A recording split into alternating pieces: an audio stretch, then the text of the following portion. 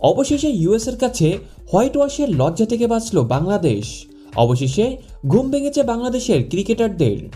মুস্তাফিজুর রহমানের দুর্দান্ত বোলিং এবং সৌম্য তানজিদের দুর্দান্ত ব্যাটিংয়ে সবশেষ তৃতীয় টি টোয়েন্টিতে ইউএসের বিপক্ষে দশ উইকেটের জয় পেল বাংলাদেশ।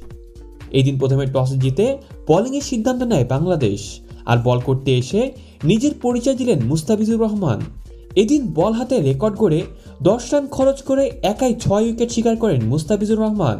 এছাড়াও বোলিংয়ে বেশ ভালো ছিলেন সাকিব আল হাসান ও রিশাদ হোসেন। সবশেষ, বাংলাদেশি বোলারদের তোপের মুখে পড়ে একশো চার রান সংগ্রহ করে ইউএসএ। আর ছোট এই লক্ষ্য তাড়া করতে নেমে দায়িত্ব নেন দুই ওপেনার। ভেঙে না পড়ে শুরু থেকেই দুর্দান্ত খেলেন তারা। তানজিদ তামিম ও সৌম্য সরকার দুজনেই খেলেছেন টি টোয়েন্টি সুলভ। এদিন উনচল্লিশ বলে পঞ্চাশ রান তুলে নেন তানজিদ তামিম। আর তাতে কোনো উইকেট না হারিয়ে বারো ওভারের মধ্যেই ম্যাচ জিতে নেয় বাংলাদেশ। আর এতে ইউএসের কাছে হোয়াইট হাউস থেকে বেঁচে গেল বাংলাদেশ। যদিও বলে রাখা ভালো, অধিনায়ক সহ চার খেলোয়াড়কে বাদ দিয়েই মাঠে নেমেছিল ইউএসএ। তবে যাই হোক, বাংলাদেশি খেলোয়াড়রা যদি নিজেদেরকে মেলে ধরতে পারে, তাহলে টি টোয়েন্টি বিশ্বকাপে ভালো কিছু করতে পারে বাংলাদেশ। প্রিয় দর্শক এ বিষয়ে আপনাদের মতামতটি অবশ্যই কমেন্টে জানাবেন।